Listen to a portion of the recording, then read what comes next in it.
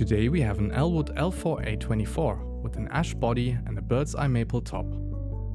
The bolt-on neck and fingerboard are made of bird's eye maple and feature 24 frets and black dot inlays. Natural headstock in 3 plus 1 alignment, black logo and white tuners. The Elwood L is equipped with Delano JSBC4 HE pickups paired with Sonar 2 electronics and ATS knobs. A Hipshot B-style aluminum bridge with 90mm spacing completes the bass. And this is the sound.